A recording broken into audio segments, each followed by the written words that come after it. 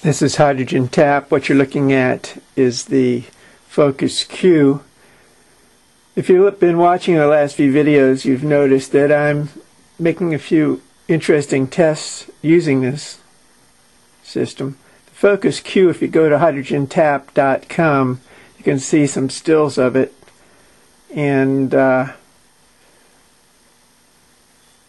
I have a lot of explanations hooked to them. So if you go to hydrogentap.com or if you want to email me at johnaarons at hydrogentap.com, I'm always interested in hearing from you. The last video, I hooked up the AC directly to the cell. You can see the two AC connections here.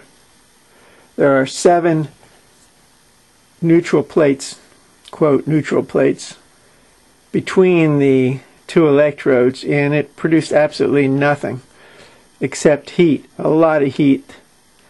It went to about 150 degrees, which is very, very unusual for this system.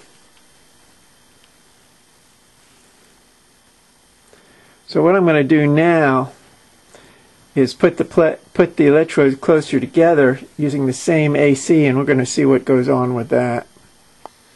Okay, this is really interesting. What I'm showing you, I'll show you the voltage here. This is AC volt. 112. Okay. Now what I'm not showing you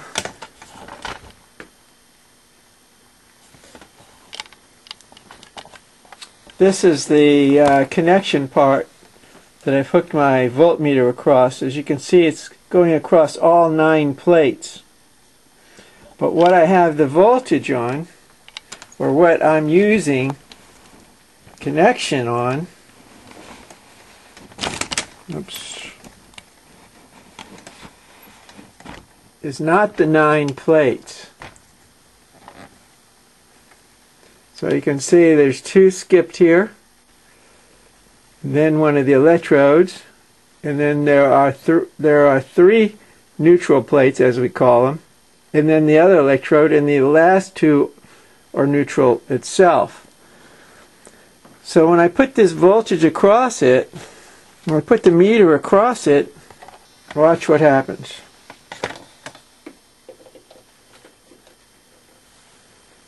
I'm actually reading 112 it's 112 volts across all the plates.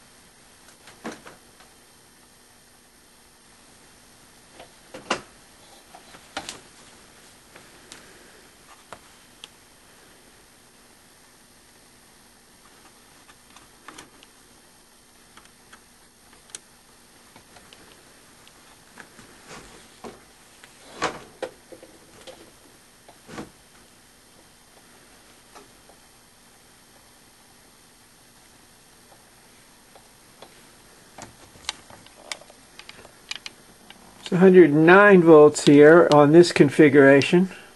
And remember, I've got the voltage meter going across all nine plates.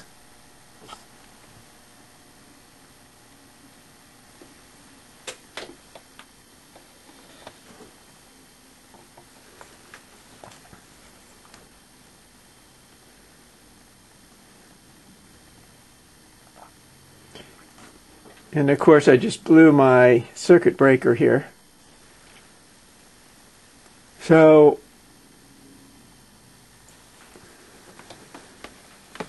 do not try this at home by the way. It's very very dangerous putting AC or fooling with AC.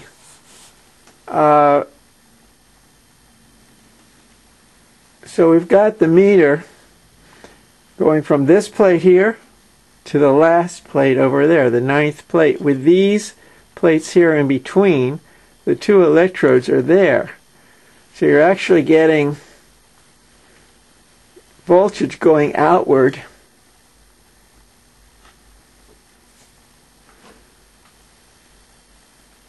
which is more pronounced in the AC than it is on the DC.